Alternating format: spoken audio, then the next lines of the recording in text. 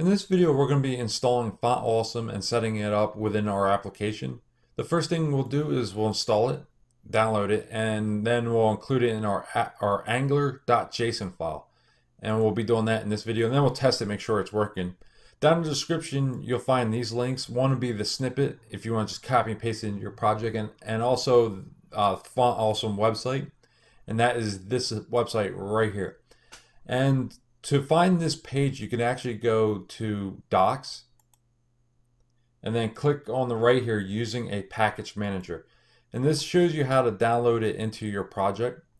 And right here, you can just copy this and then open up the command line, paste it in there, and, and then install Font Awesome. Let's go take care of that. If we go back here, open up the command line, and then I'll shut this down from the last video and clear everything out.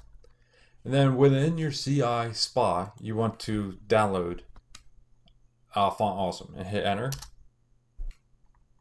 Now that we have installed it, we should have it in our, our uh, node modules folder. If we go and open up our project, then go into the uh, SPA, and then within your node modules, we should have Font Awesome, and there it is. Now we'll, we'll need to go and pull in uh, these uh, packages right here. Now, I had trouble when I first was setting this up.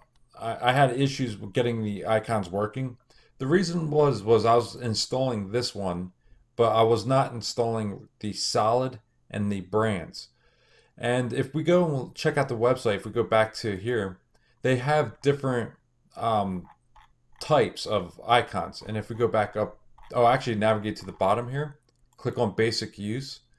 And then uh, here is where I saw it. So Let's say, for example, you want access to the solid icons and the brand icons. You want to bring in both of those files right here.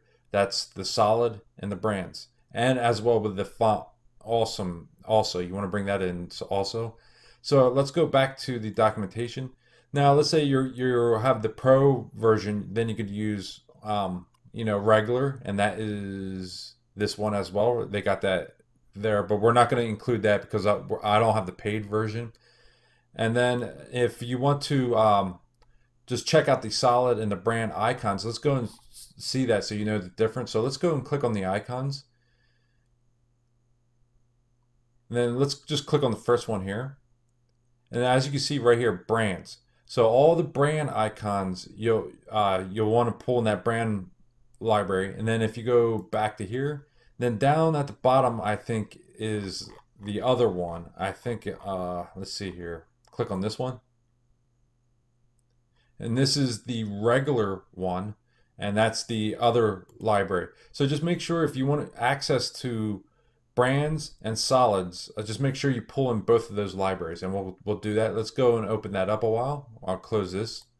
And then we'll go down to Angular JSON. And this is where we could go and pull in all our different libraries. And then they have a, a, a array you could pull that in. Now there's multiple ways of doing it. You could actually pull it in within within your JavaScript or your I mean your your styles page. But I'll just pull it in here. This would be fine.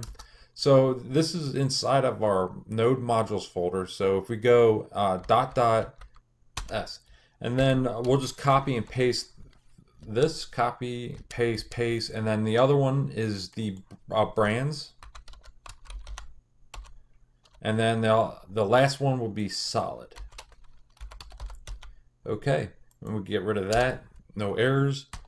Now we're ready to pull in some icons. So we'll test we'll make sure the brands one is working and the solid one is working. Let's go back to the uh, the site and this is actually regular. I think this is the purchase one. You you'll have to purchase the pro version to get that. I think.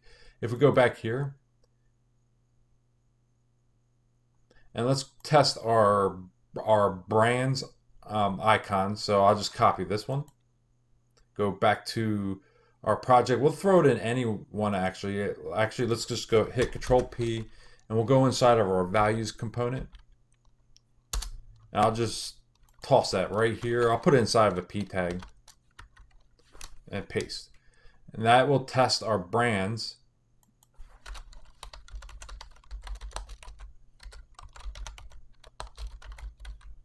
Okay, and then we'll go and we'll pull in another one that will be uh, which one was that? That this is brands. So let's go pull in a solid icon, and we'll go back here, and let's find a solid icon. Let's see if this is a solid. Yes, as you can see right here, solid. Copy this one. We'll make sure this one's working, and then go back to our project, and in here I'll put it inside of a p tag again and paste it. And this will test our solid icons. All right, save this. Let's go to our front end and we got to make sure we boot up our, our spa. And then we'll go and check it in the browser and make sure that's working.